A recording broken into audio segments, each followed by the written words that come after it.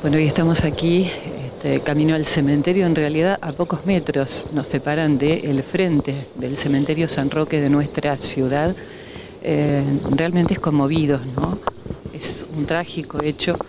Eh, un joven de aproximadamente 30 años, supuestamente de nuestra ciudad, todavía no identificado con nombre y apellido, este, ha decidido quitarse la vida, suicidarse, se ha colgado de un árbol.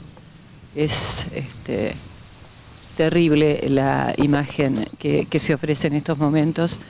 Eh, bueno, vamos a tratar de preservar un poco eh, lo que se pueda, ¿no? Está la gente de la policía, todavía no ha llegado el médico forense.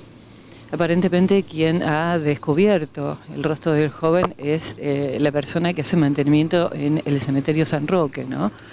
que obviamente alarmado dio aviso a la gente de seguridad, a la gente de la comisaría. Como decía, se está esperando todavía que llegue el forense. Eh, está la policía en el lugar. Hay móviles que, bueno, de alguna manera impiden y además piden la colaboración de que nadie se acerque, ¿no? Es un, un espectáculo dantesco realmente, ¿no? Muy, pero muy triste. Muy triste esta situación.